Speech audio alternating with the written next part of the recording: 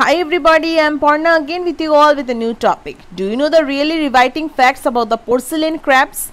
As many rightly suggest, the porcelain crab is a delicate and fragile crab-like crustacean that sheds its limbs to escape predators.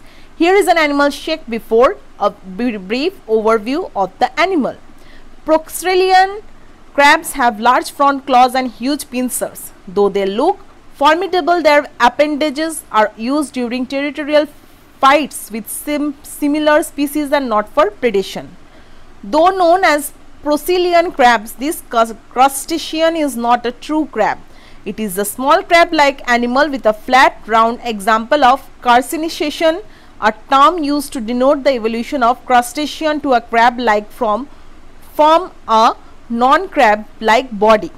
It looks like a crab and hence the name in fact Procyllian crabs are related to squat lobster. They are a class form. The Procyllian crabs is really small with the maximum body width of 0.5 inches. The flat and compact body enables the anim animals to hide in between rocks, recifs and beneath stones. It is also found in between tufts of algae, corals, sponges and mussels. This organism is only seen in rocky shorelines. Procyllian crab Procyllian crabs belong to family Infraorder Anomura and order Decapoda. These crustaceans are classified into 30 genera that have around 300 species. They are commonly found in all oceans except the Arctic and Antarctic. The body color of the crab varies with different species and may range from blackish brown to sky blue, green and white. Which some are spotted, molted or street species are also common. Given below are some interesting facts about Procyllian crabs.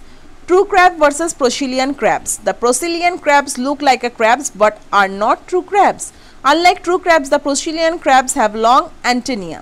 They have three pairs of walking legs whereas true crabs have four pairs. In Procyllian crabs, the four pairs of legs are too small and are not visible as they are held against their body. Their tails or reduced abdomen are kept folded under their body. When disturbed, they must use this structure as paddle for swimming up and down symbiotic relationship. Procyllian crabs share a mutualistic relationship with many, many animals. For example, the Procyllian anemio crab Neopetrolisthes maculatus is a species that is mostly seen with sea anemones. While the anemo offers shelter and protection to the Procyllian crab, the latter keeps the anemone clean. It is said that these organisms compete with clownless clownfish for establishing their territory in sea animals. Usually clownfish succeeds in this venture. So both species are seldom found together. Hag Procyllian crabs Procylena hag live on sea pens. Lysoprocylena nakasonia is another species that share a symbiotic relationship with sea pens. Filter feeding these animals have feathered structures on their mouths parts that look like arms. To be precise, the outermost pair of maxilliped have fan-like structure. These crustaceans indulge in filter feeding using this feathery extension. Their diet mainly consists of plankton which they collect from the water through sweeping movements of their arms. The mace-like structure work like a sieve for collecting food. They use the innermost pair of maxillipedes to gather food particles that are caught on the fine hair and carry them to the mouth.